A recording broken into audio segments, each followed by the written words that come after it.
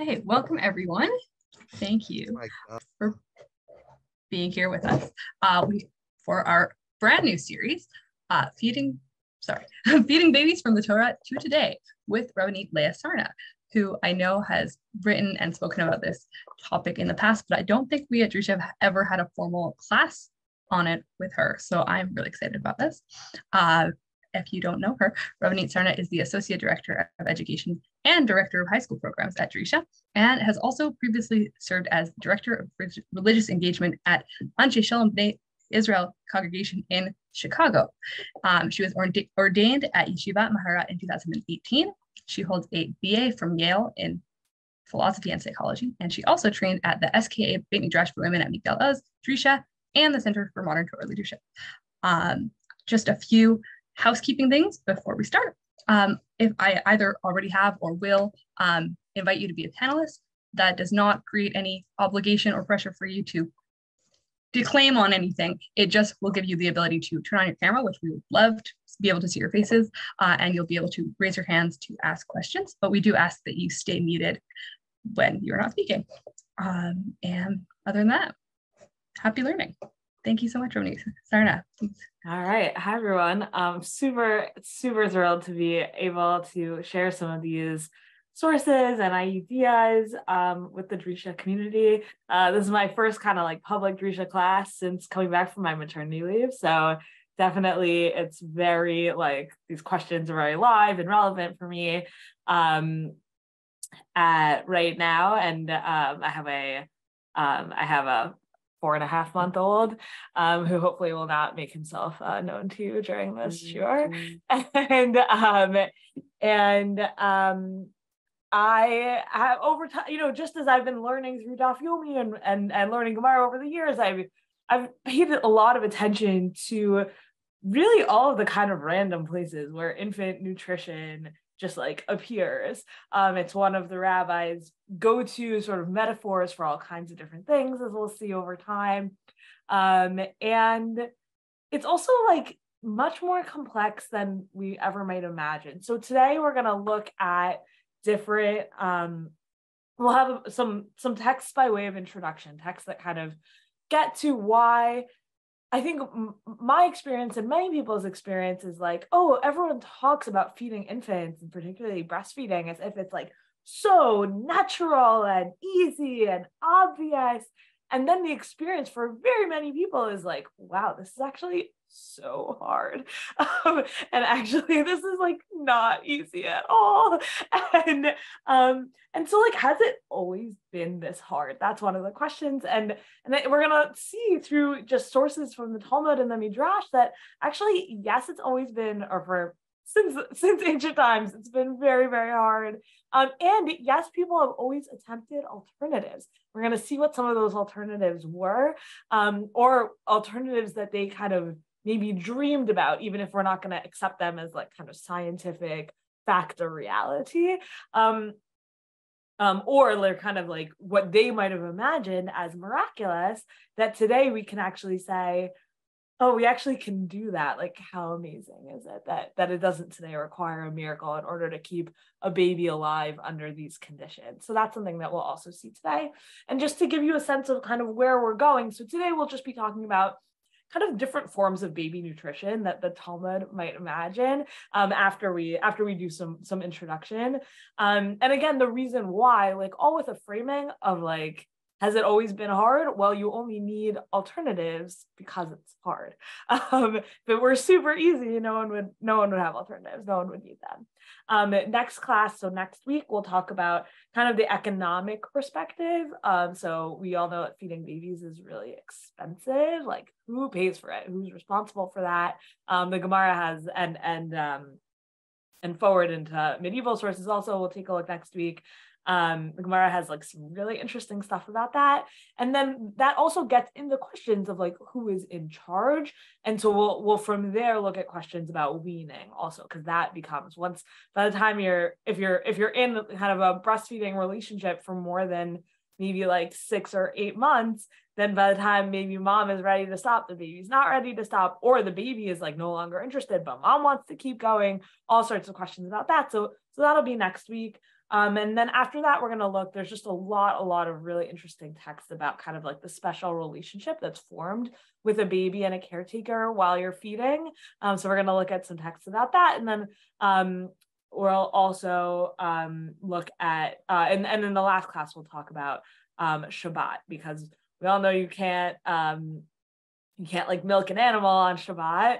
So then what uh so then how does that translate into humans? And we'll look at texts and sources about that and we'll talk about some modern day stuff like um, how do pumps work uh, we're not the first people to kind of have you know hand expression is really really old and we'll explain obviously what that term means um, and and we'll see it we'll see it in, in really classic sources. So that's that's kind of the scope of where we're going. I forgot to mention that in the third class when we're talking about that like special relationship that's when we're also going to spend some time asking those questions about like tzniut and like how does your your body and the way we think about a person's body when they're in a breastfeeding relationship how how does how, does her relationship with her body and other people's potentially relationship with her body um, change or not change um, because of this like new functionality that her body might have. Um, so that's kind of all the different topics I'm hoping that we'll get to. It's kind of ambitious to do this all in four classes, but um, it'll at least be a start and a taste. Um, and hopefully will like pique people's interest for for more study on this. I think really kind of like fascinating um, topic, kind of in general, but then particularly fascinating like within um, within a Jewish lens. So I'm going to share my screen. There was a source sheet sent out to people who registered, and maybe um, Chaya can drop it in the chat also.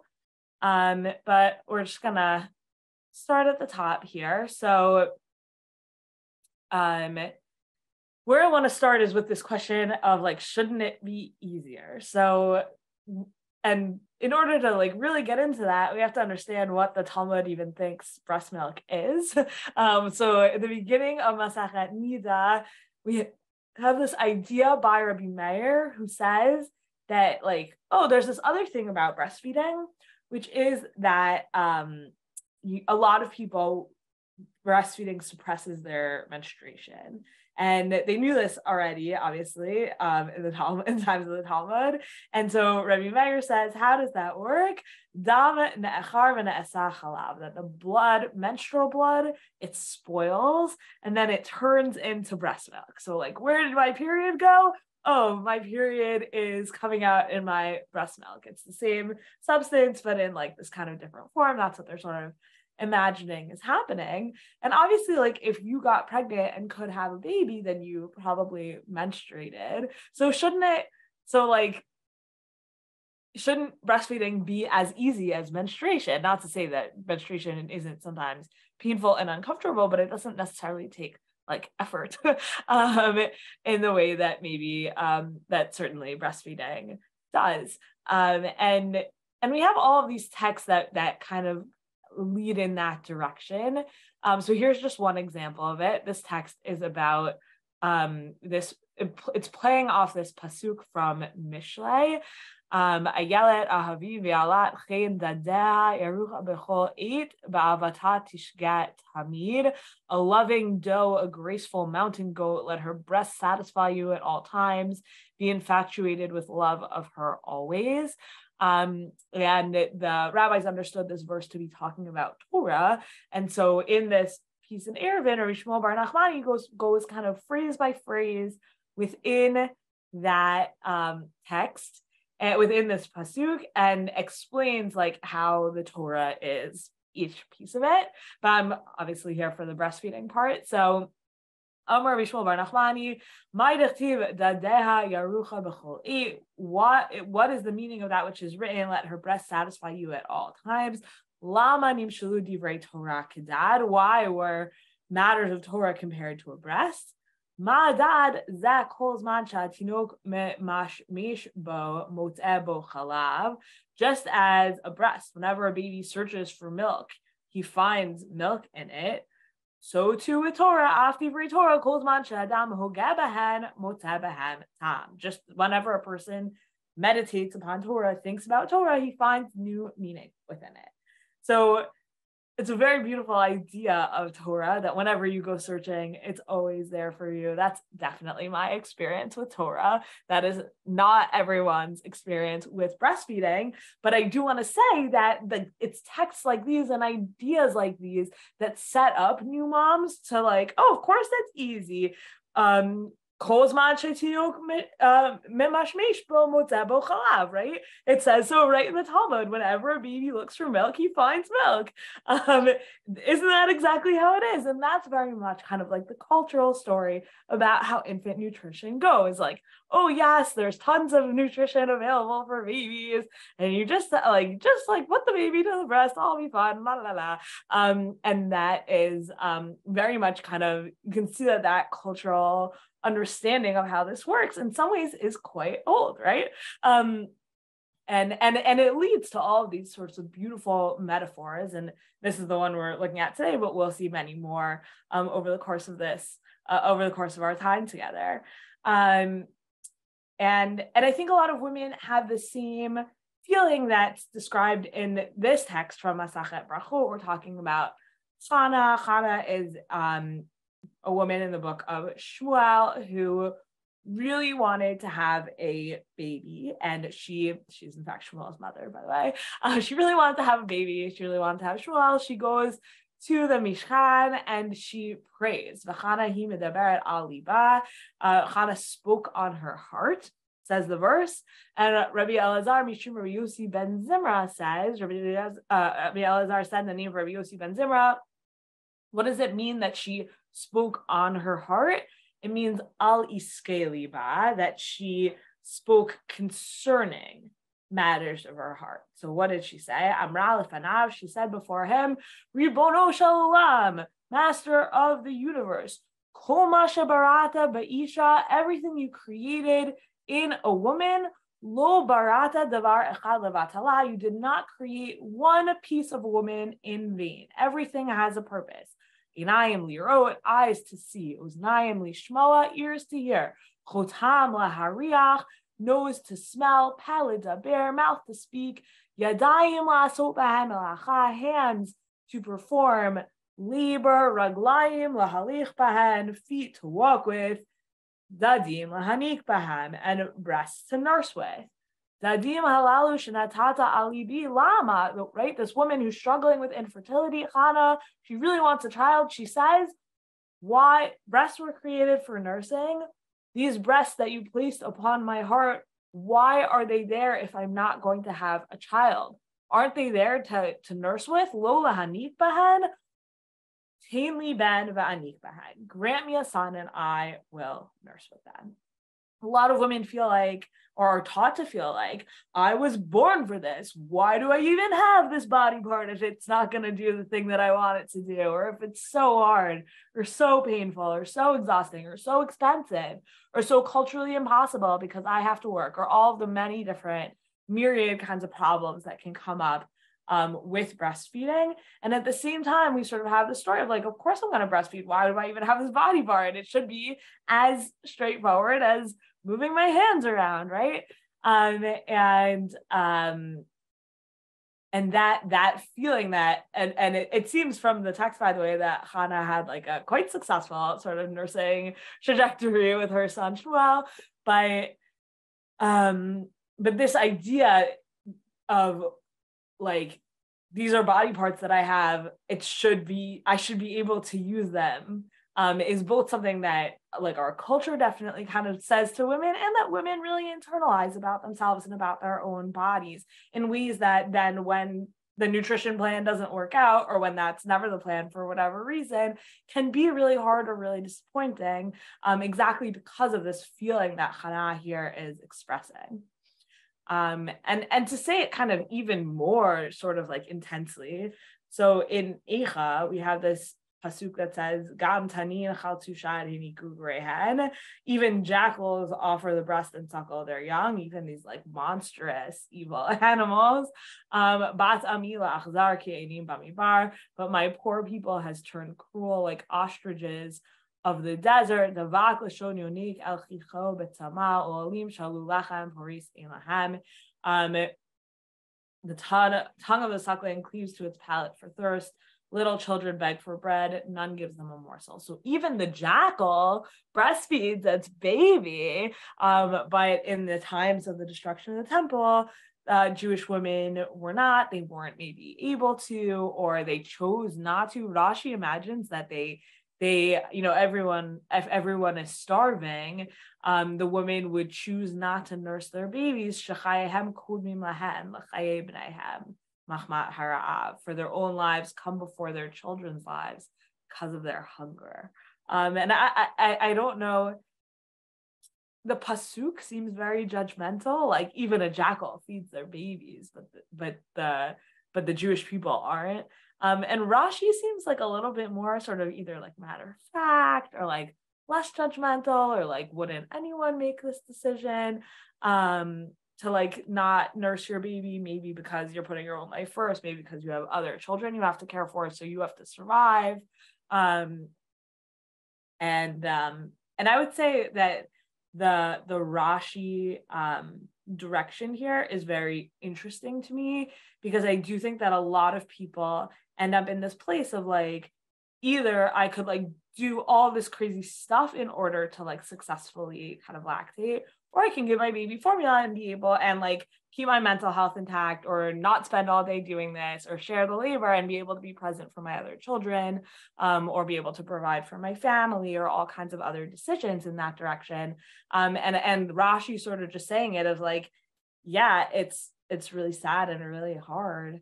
Um, but these are like decisions people sometimes have to make um, not to say, by the way, that like we're living in times of starvation. Some people in the world are, but many, probably none of the people listening to this talk right now are. Um, and if you are, definitely reach out because we can definitely do our best to help.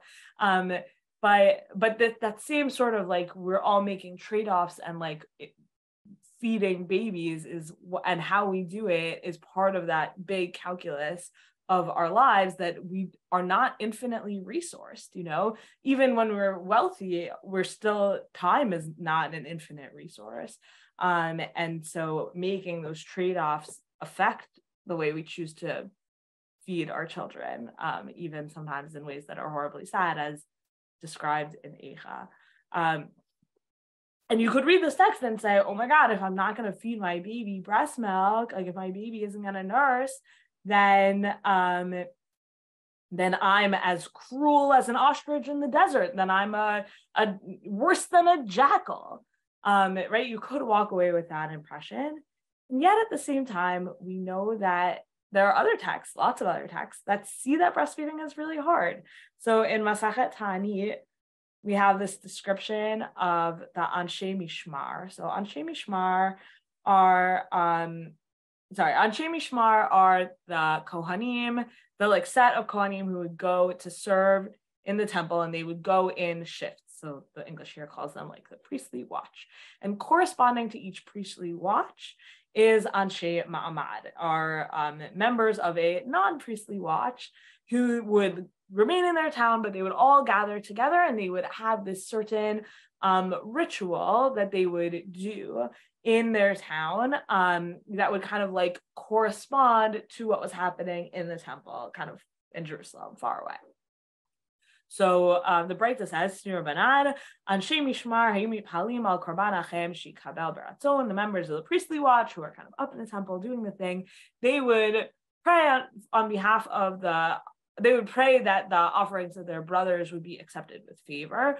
The Anshe Ma'amad and the, the non-priestly watch, they would stay in their own towns, meet Kansin Beit HaKnesset, and they would assemble in places of assembly. They translate here synagogues, but don't exactly imagine like what our synagogues are like today. Maybe more of like a JCC.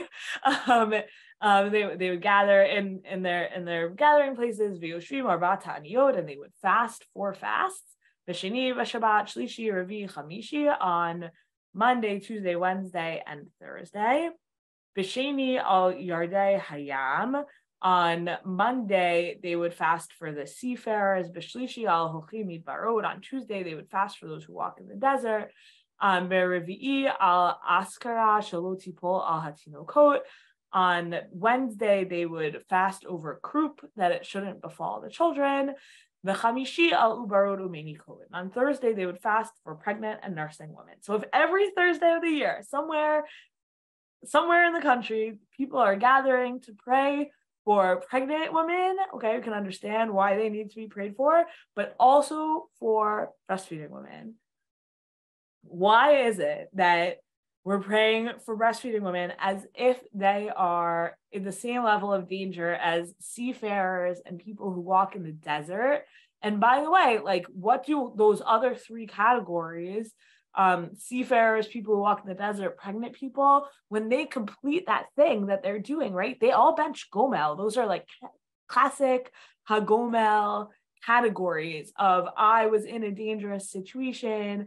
I'm not anymore. I'm so grateful. Um, and we that classically childhood was very dangerous. You don't bench gomel when you reach bar mitzvah but that's like a kind of interesting idea that maybe you should. Um, and um, so what is it right? On and then there's this other category of meinikot of women who are nursing. And the gemara explains why we're praying for them. So ubarot we pray for pregnant women that they shouldn't um god forbid miscarry and what are we praying for for the breastfeeding women for the meinikot, mini coat she'aniku et b'neihem. We pray for the nursing women that they should be able to nurse their children properly. So on Thursdays, every Thursday, there would be place, people gathering, fasting for a full day, praying that nursing women should be able to nurse their children appropriately. One day a week, right? Thursday, that's the day you pray for the nursing women. So, like, why is that necessary? What is so what like if it just flows the way every time you go to Torah, there's always something there for you, and every time a baby goes to breastfeed, there's always something there for it. Then why why in heaven's name would we need people to pray for breastfeeding women the same way that we pray for people who are wandering the desert or off at sea? Right? These things just don't add up. The story we're telling about breastfeeding doesn't add up. Um, and the last thing I want to add in here um, is not just so in this situation it seems like wow breastfeeding there's actually like danger involved in breastfeeding which is by the way like not wrong at all. Um, right breastfeeding carries dangers of um, of mastitis of clogged ducts right there's all sorts of specific like things that can befall someone who's breastfeeding and women who are breastfeeding experience a lot of stress and anxiety around those kinds of dangers. Um, but there's the other piece about breastfeeding that makes it really hard, which is just that it's expensive and taxing on lots of different levels. So this Mishnah is really interesting because it's a Mishnah that really kind of lays out quite specifically um, what what kind of economically a husband owes a wife and what a wife owes a husband. Um, and this is someone who they're not living together for whatever reason. So this is mashret ishto al shalish. So someone who feeds his wife by means of a third party or a trustee. So how much does the trustee have to give to this wife? And so it, it goes through, I didn't bring you the whole Mishnah, it's quite a long Mishnah, but it's lo yivchot mishnei kavin chitin, o me'arba'a kavin sa'orim. You can't give her less than two kav of wheat, four kav of bar- barley, and it goes through all the stuff she needs for her to eat and for her clothes and for her all different stuff. Um, and if he doesn't kind of support her, then everything she earns belongs to herself. But if he does support her, then what she earns actually belongs to him. So mahi osalo, what what is the amount that she actually needs to earn for him? Mishkal chamesh slaim, uh, shtivi udash, and eser slaim begalil. This is like money means different things in different places. So she has to spin the weight of five sela of threads of warp in Judea, which is equivalent to 10 sela according to the measurement of the Galilee. Okay, whatever. We're not going to get into like what all those details mean. Um, but right, you get this picture, right? He has to provide for her economically. She has to provide for him, maybe economically. But but there's a carve out. What's the carve out? Im hayta venika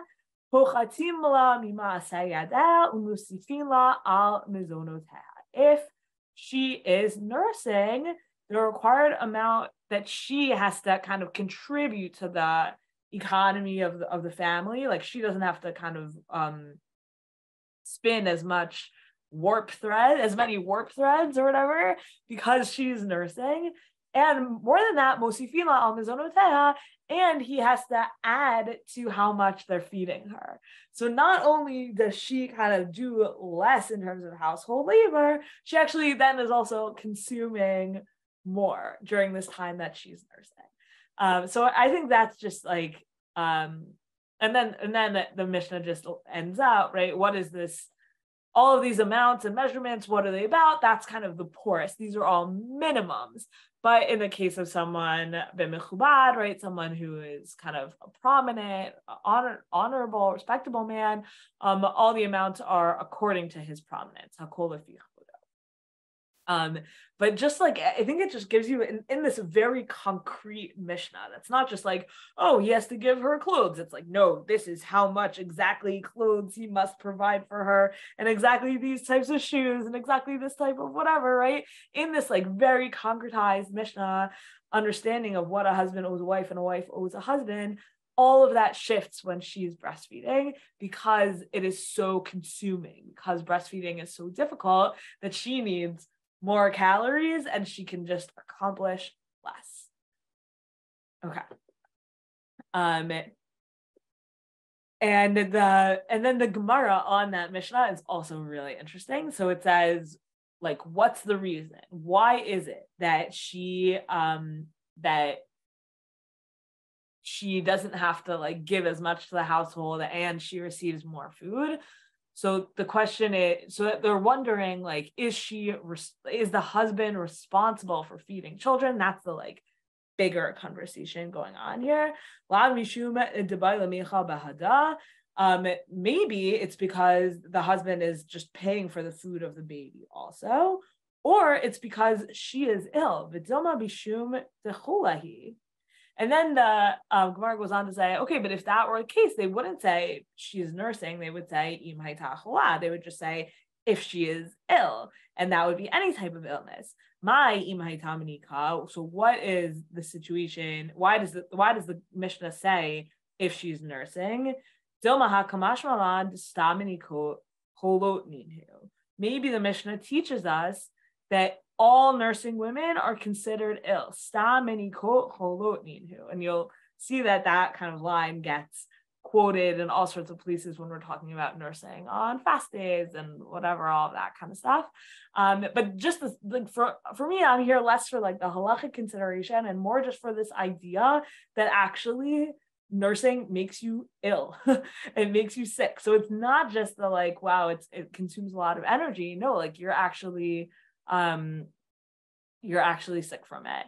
Um, and then we, the this is actually the end of a parak, and as you might know, Prakim and Gemara often end with like interesting or funny or like kind of take a left turn right at the end sort of line. So this is that line here. So Idmar Amar Rabbi and Levi Mosifin La Yayin Shayayin Yafela.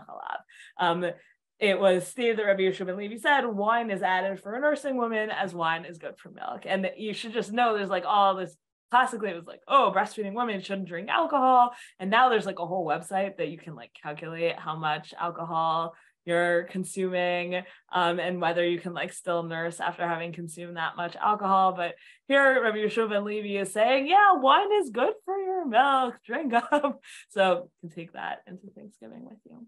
Um, so that was all kind of by way of just like laying out the field, right? On the one hand, we have all these stories of like, what is my body for if not to do this? It should be so natural. It should be that anytime a baby goes to nurse, it just flows out so easily. We have that kind of narrative. And then there's this other kind of narrative of like, maybe all nursing women are sick. Maybe like it's extremely, um, it, it's extremely like expensive to nurse. Um, maybe um maybe we should be praying for all nursing women that they can actually do this successfully. Maybe nursing women need our prayers. Um, and then we have that Rashi from from Eicha, just like yeah, like sometimes you have to make really hard decisions um, and under the circumstances of your life, whether they're the most horrible circumstances of the times of the destruction of the temple where people were starving, or they're just our own kind of scarcities, scarcities of time, scarcities of resources such that I have to go back to work within the first year of my baby's life, all those kinds of things. Um, so with all that complexity, um, I want to look at some examples. We're going to look at six different examples in the next, hopefully, half hour or so um, about, um, we're going to look at six different examples of what a person might have done in the Talmudic times if breastfeeding wasn't working out for them. Um, okay, I'm just looking at that. I'm just looking at the chat. Right. Randy says, right, starving women wouldn't be able to breastfeed. Yeah. So that's definitely a piece of it for sure. Um, did anyone else want to just pipe up with any questions about what we've seen so far or any like comments or feelings that are coming up for you real quick and do like a minute or two. Anyone has anything they want to jump in with? Okay.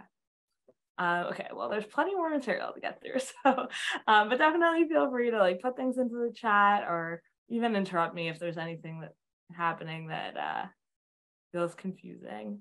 Um, so this first text I want to look at is one that right at the beginning of the formula uh, shortage crisis in the United States, this was in Daf Yomi, um, like before people like fully knew what was happening, um, before it really made the news. Um, but so, um, and that kind of like got me onto like, oh, these texts are amazing, um, because the Gemara actually people. So one of the things that happened in America when there was a formula shortage, all these people started sending around like oh like my grandma used to make formula like this. Um and then like all of the um all all of the like public health community had to be like do not do that. Like that is not good for babies. But in a world without formula in the way that we have it um it is not the case that people were just like, okay, now my baby will die. You know, like they actually did everything they could, even at great expense, to try and figure out how to get their baby the nutrition that their baby needed if they couldn't breastfeed the baby. So even in the Gemara, you have this idea that you basically have like an attempt at expensive breast milk alternatives. I should also mention that formula is extremely expensive um, and that you can um, there's like a special kind of um, food stamps for formula called WIC. Um, and the whole politics of WIC are part of the problem, for being honest. Um, and you can definitely read that up on that on your own time, or um, you can ask me about it at a different time. But um, but definitely um, it's expensive because the materials that need to go into it are expensive. It's expensive because the level of hygiene ideally required for its production is kind of extraordinary. Um, but it was expensive even when people were just like making it on their own at home. So here's the um, the here in Yevamot is talking about um, women remarrying and how long do you have to wait from your divorce or your husband dying or whatever um, before a remarriage? And the answer is you have to wait like until you know whether you're pregnant or not. And if you are pregnant or if you're um, nursing, then you have to wait until like that's over before you can remarry. But here we're specifically talking about the prohibition against marrying a woman who's pregnant with a child of another man. And you might have thought, right? The Gemara might have says like you might have thought like, okay, you know that this baby is the baby of husband A. Shkoyach, let her get married to husband B, and she'll have the baby of husband A. If she waits two years until the baby comes into the world, she's still going to be the mom of baby of husband A. She's just going to have that baby's now just going to have a stepfather or whatever. Um, like, what's the difference? Why does she have to wait? So here's the Gemara's one of the Gemara's attempts at an answer. Um, so the Gemara says, kaima. A typical pregnant woman is going to nurse her child once it's born. Dilma i abra umi achar. So maybe after she has baby from husband A, the Gemara says, she'll be nursing baby from husband A, and then she'll get pregnant with baby from husband B, and her milk will dry up, the kavale and she'll and the baby will die. Baby from husband A will die because her nurse will her her um she'll be she's nursing baby A. She gets pregnant with baby B, and her milk dries up during the pregnancy. And so the Gemara says, Hold on, but why? Uh, oh, and then uh, right, and then it'll kill baby A is the end of that sentence, right? So nami. So okay, but then any woman who is um pregnant who is nursing like like who like why like that just happens naturally. It could have happened to husband b's kind of own baby you know like that could happen between baby b and baby c also. Um and the answer is no diday mas mesale bevetzim so if it's his own baby then she'll feed him um it's this kind of like weird word that seems to me and like she'll for him um she'll feed him eggs um um oh sorry the period should go there. So right so if it's if it's his own baby then he'll provide for it this like milk substitute that's very high protein combo eggs and milk. So then it says okay so so fine. But if it's just her baby and not her husband's baby, because it's the baby from her previous marriage, then she could do the same thing. She could also give it this like milk substitute. The answer is lo yahiv la ba. No, husband number two is not going to want to provide this expensive, expensive nutrition for a baby that's not his own. And so then it says, okay, v'inhu um, so then she should, mom should sue the inheritors of husband A in order to provide for baby A. And Abaye says, Isha a woman is not going to come and sue her own family, potentially even her own children, um, in Beit Din. Um, and in the end, Horeget et and the end result will be that the baby from baby A will die. And that's why we don't let her get married until that baby is kind of like firmly on its own two feet. Um, so a little bit complicated. I hope that people kind of sort of followed what's going on there. And I, I wasn't um if if you have the source sheet up on your own, you'll be able to kind of like look at the whole source in one page that might make it a little bit easier to read. But just this idea that there's this thing of beitzim and chalav that you can feed a baby. That's the main takeaway.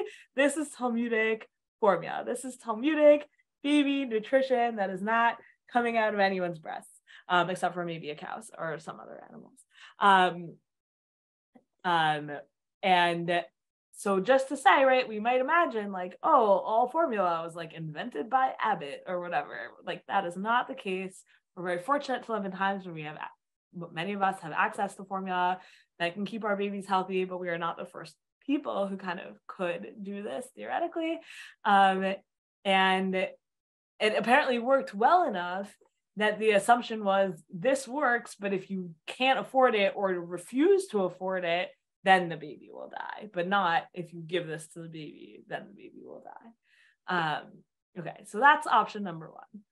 Option number two is maybe like the most obvious one is someone else should nurse the baby. That's also expensive, right? Because you're literally hiring an entire person um, to take care of a baby. Um, and the Gemara, this is like such a kind of clear option for the Gemara that they just have sort of like a halacha about a wet nurse. Like, if you're a wet nurse, here's the halacha for you. That's like the the Gemara kind of like speaks directly to that person, which is amazing, really interesting. Um, so here's just like here's a little bit of like hilchot wet nursing. Uh, right. So someone gave a child to a wet nurse and she agreed to nurse him. Hareza lo tanikimo lo lo ben So the wet nurse, she has to be um like monogamous to this baby. Like she can't nurse another woman's child and she can't, she definitely cannot nurse um her own um her own baby alongside the baby that she's being paid to nurse. Um, more than that, paska kima uchelet harbe, even if her she only managed to negotiate a small allowance for food um, along with the payment for nursing, she must eat a lot so that she'll have enough milk. Uh, and she has to eat a diet that's like conducive to making good milk. She cannot eat eat food that is bad for her milk. Um, and then it says, okay, we understand why she can't nurse her own baby alongside this baby she's being paid to nurse, but why can't she take on a second baby? Um, right? Because you might have thought, ונהו דחסי לבי ממציאה לתפי, אבל בן חברתה, אילה דהבי מותר לו, הווה ממציאה לי. You might have thought, okay, obviously her own baby, like, yeah, for sure she would give preferential treatment to it. But just like taking on a second client, if you're a wet nurse, like, if you have enough milk, like, why wouldn't you? Um, so it has to come in, right? You might have thought that maybe that would be okay. And the Gemara actually says, no, like you have, you can only be a wet nurse for one baby at a time. Someone's paying you to be a wet nurse. They're paying you to be a wet nurse for that baby. Full steam ahead, one baby at a time.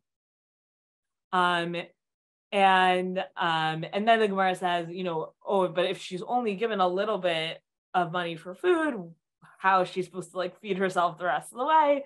The answer is she's supposed to pay for it herself, says Rav and then it says what are you know what are the things that she's not allowed to eat? And there's actually like this very long list of foods that are bad. So here we'll just do this in english. Uh, so Rav Kahana says hops young green grain sprouts small fish soil pumpkin quids that's really gonna put a that's really gonna put a put a wrench into your thanksgiving plans pumpkin and palm branches um, uh kutach, which is like everyone's favorite dairy dip in Bavel, small fried fish. All these items are bad as some cause milk to dry up and some cause milk to spoil. So apparently there's also two things that can go wrong with your milk. You can um, dry it up. Okay, you can understand what that is. Um, but Achri Chalva is interesting in particular because um, what that first source we saw was that what is milk says Meir, milk is is um is like spoiled menstrual blood and now all of a sudden you have the milk then spoiling a second time because you've like eaten the wrong small fish or too much pumpkin. Um, so that's also just like really interesting. We do actually know that breast milk changes. We'll see this when we talk about the man, but the breast milk kind of changes depending on like what you eat, and it has lots of different flavors within it. Um, and so um, there is like something to this of like but but the question is like would a baby like reject it based on what you ate? Um and that's a little bit more complicated. But the other way to think about this by the way i should just mention is like in terms of when babies have allergies often we'll say oh like mom has to cut dairy out or mom has to cut eggs out or mom has to cut whatever it is all kinds of different things out of her diet um because it's affecting the baby in, in all these different ways.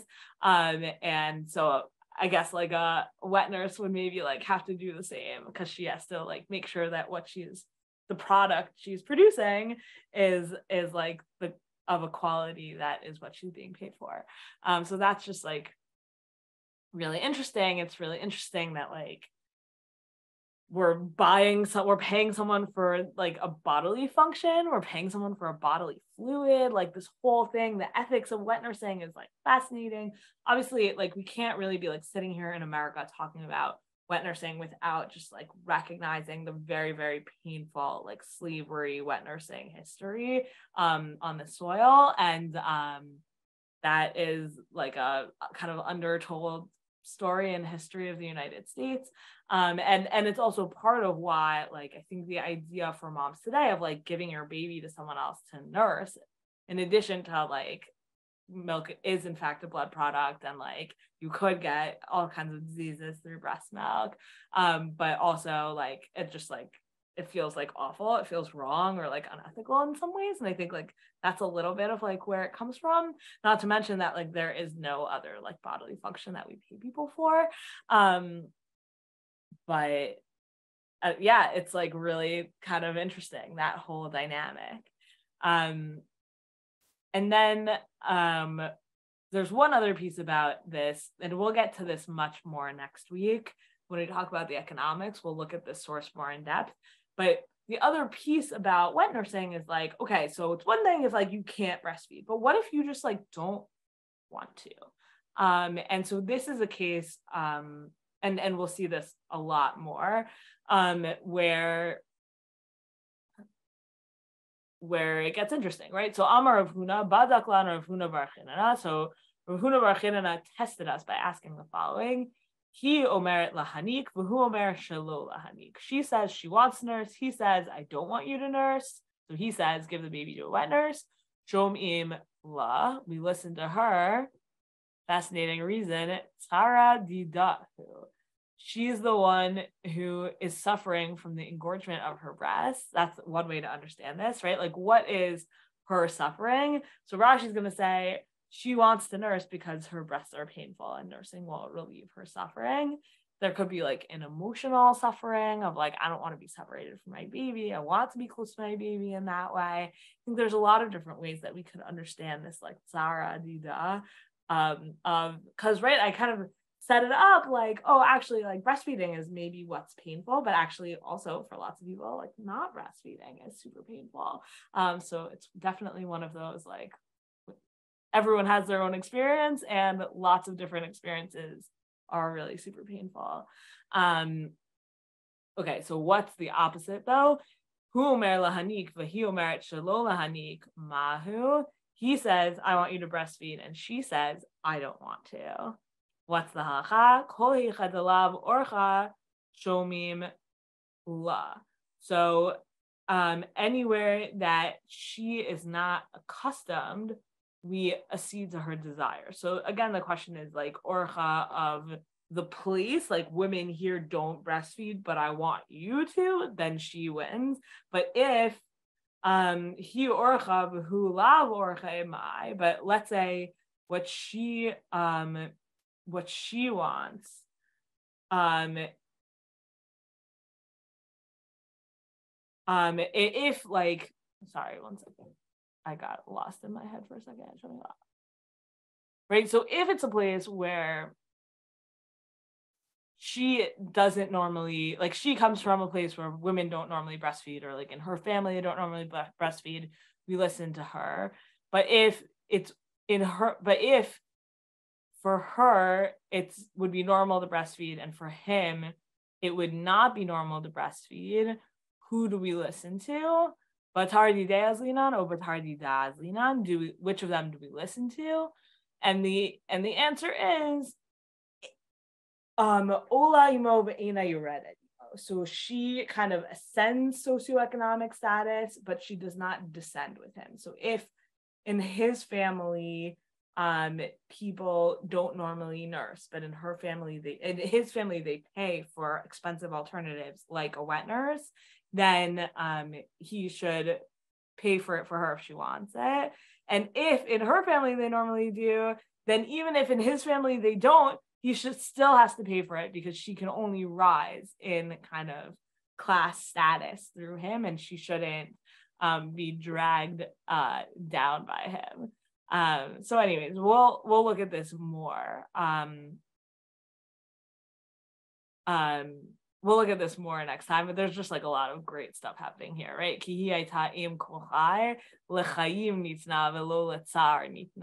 Right. So this is about Chava. This is a description of, of like she was the mother of all living. She was given to her husband for living with him, but not for experiencing pain with him. She's just like again, like like wow, that's so fascinating. Uh, there's so much going on here, but I do want to. I'm just noticing the time, and I have so much left to get through.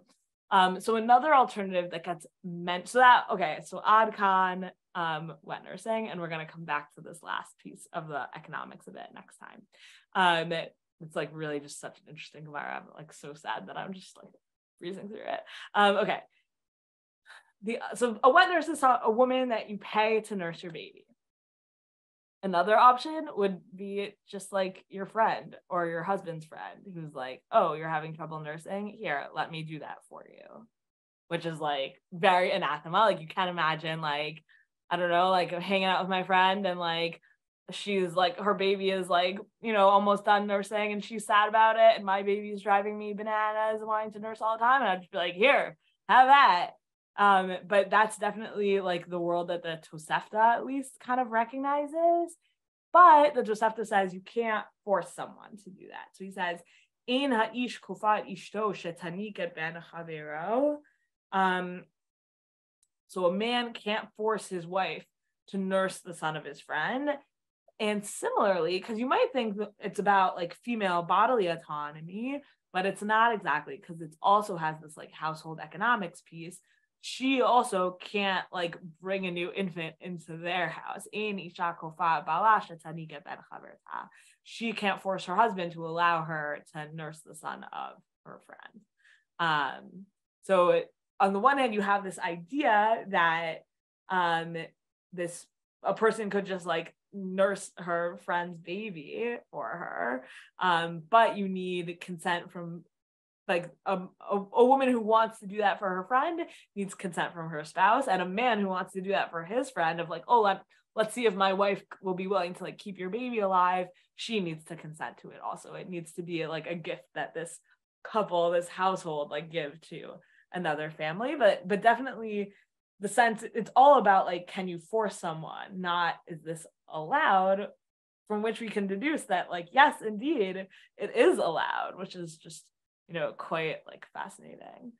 Um, okay, so we saw that like in Yavamo, we saw that um a different part of Yavamo. We're back in Yavamo now, but we saw um we saw that um that combination of like milk and eggs. So now we're just gonna see that there's another option of straight up like nursing from an animal.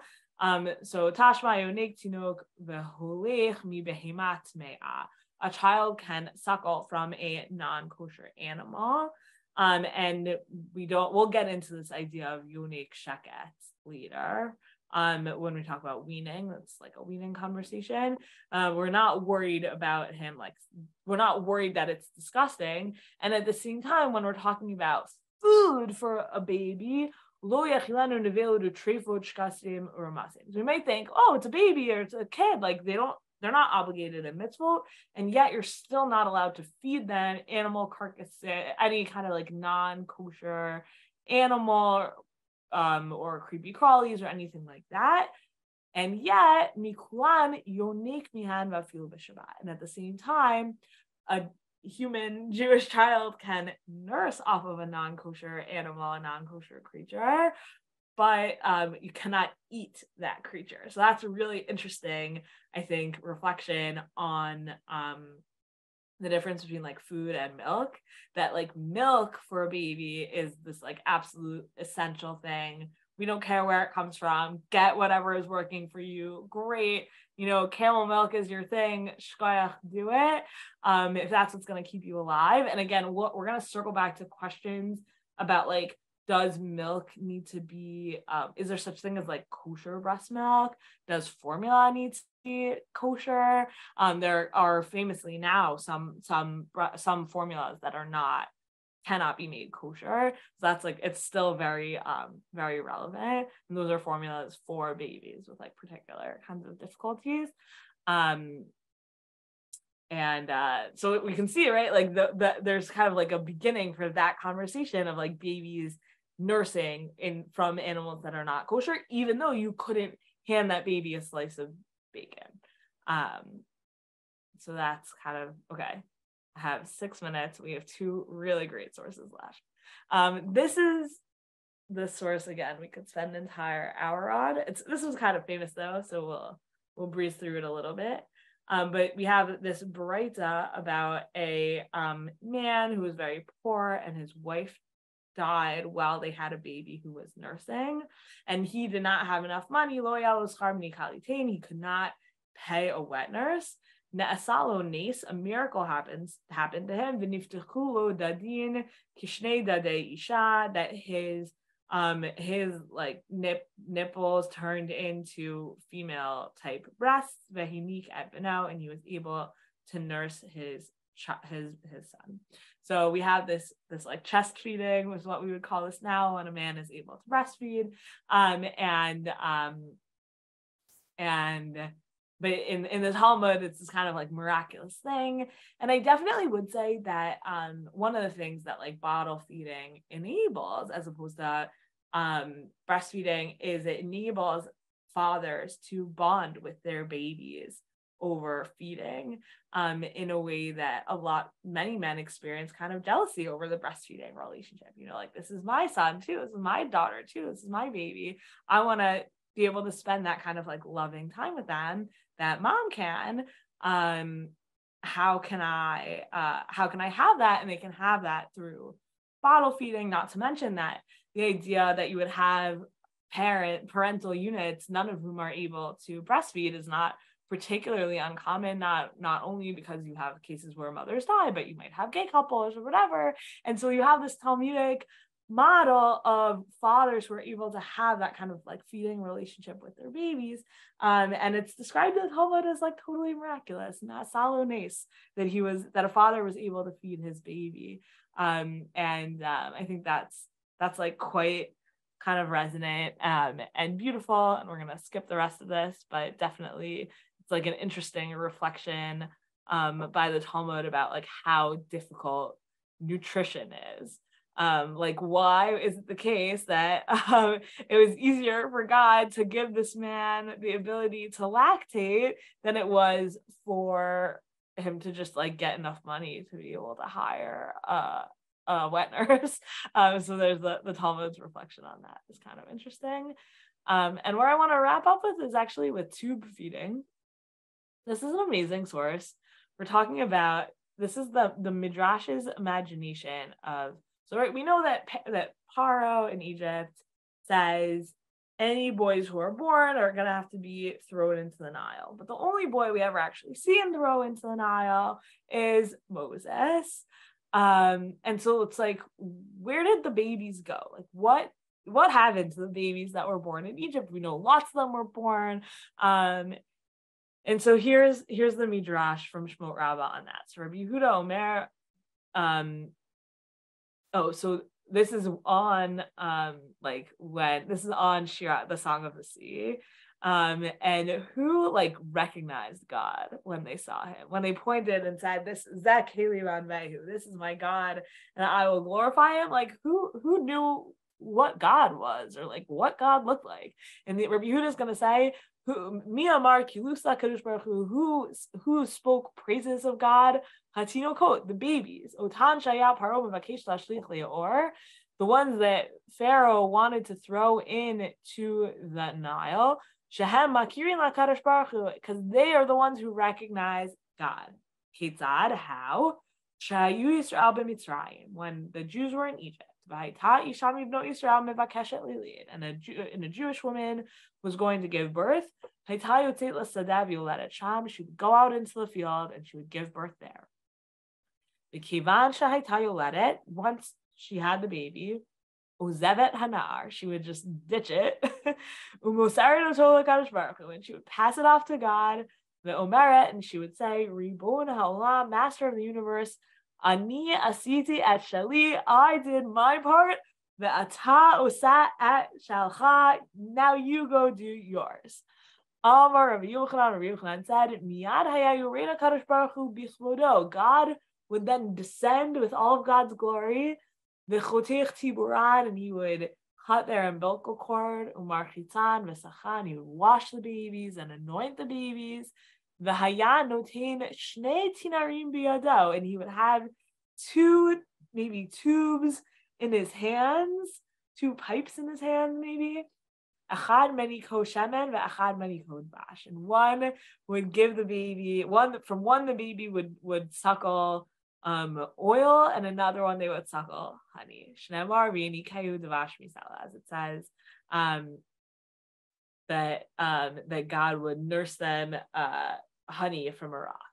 And the, and the babies would, from God's tube feeding, they would flourish and they would grow up in the field. Um, and once they grew up, they would go to their homes by their fathers, And their fathers would ask them, Who took care of you? And they would say, a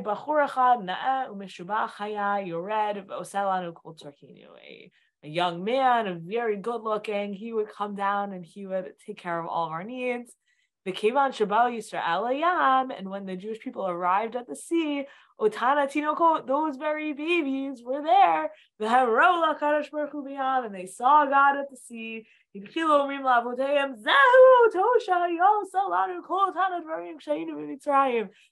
the guy who did all that stuff for us, who took care of us when we were in Egypt. Um, and they would, and then they would say, Zeh Eli, that's my God, and I will glorify him. So this is now another kind of miraculous version of how do infants in times of distress, when breastfeeding isn't working, when the mother can't be there with them, because if the baby were found, he would be thrown into the Nile. What do you do? You tube feed the baby, or in this case, God tube feeds the baby.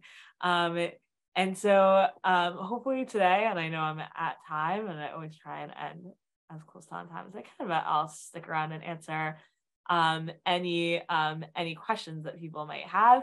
Um, hopefully today we got a chance to see yes on the one hand judaism does share this kind of cultural narrative of like breastfeeding, it's amazing. There's so much milk. It's perfect for the baby, blah, blah, blah, on the one hand. And on the other hand, we've seen, oh, yeah, it's really hard. Lots of things can go wrong. Lots of things can happen. Um, and here are some alternatives that have been attempted over time of ways to feed babies even when breastfeeding does not work out um, and and i think for me like part of what what i want to say about this is like I think there's this sort of imagination that like, oh, like if you just did it, then like you could breastfeed. And the answer is like, no, that has never been the case. It wasn't the case in the Talmudic times. It's not the case today. There's lots of ways to feed babies. Um, and even the Talmud kind of recognizes lots and lots and lots of those different, um, lots of those, those different ways. So I hope today you got a little bit of a sense of like how many different texts talk about this um, talk about baby nutrition, are fascinated by it. We saw things from all over the Gemara, and we're going to see more. Um, we saw lots of different genres also that kind of touch on this. Um, and a lot of them are like fun and curious and interesting. Um, so definitely stay tuned. There's a lot more to get through in the next um, in the next three classes. But thank you all for coming out, and I'm happy to stick around for a second um, if people have questions on anything we looked at today we'll go. Thank you so much, Rabbanit Sarna. Uh, thank you so much to everyone who joined us. Uh, I just one quick announcement is just that we will not be having classes on Thursday as it's American Thanksgiving, but we do have some really exciting things tomorrow and just going on all the time. So please check that out at 5783.drisha.org and looking forward to learning with you again.